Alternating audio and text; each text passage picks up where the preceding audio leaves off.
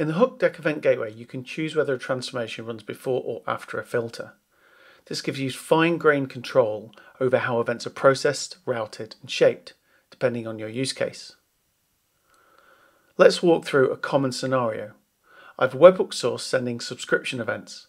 I want to trigger alerts when there's a potential churn indicator, like a trial ending soon or paused subscription.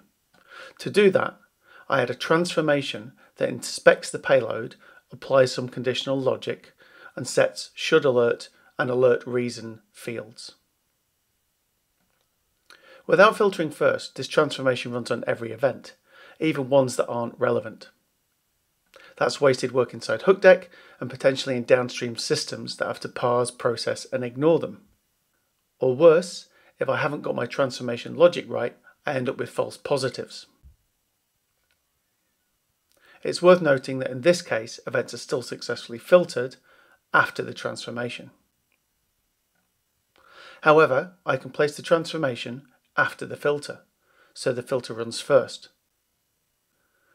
This filter only allows subscription updated events through with either a trialing status or an active status with a pause value of true.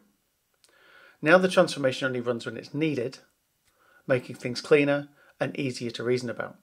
As demonstrated, you can reorder your rules directly in the Hookdeck dashboard by dragging the UI elements or through the API by updating the connections rules array property. Whether you're normalizing data before filtering, adding useful logic, or cleaning it up, this ability to reorder transformation and filtering rules helps you control what gets delivered and how.